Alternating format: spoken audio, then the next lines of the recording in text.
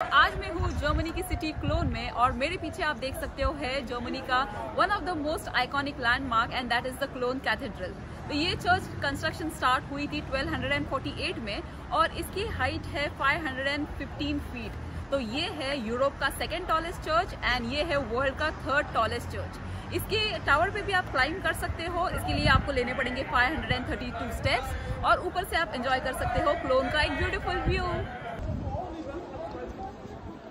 어.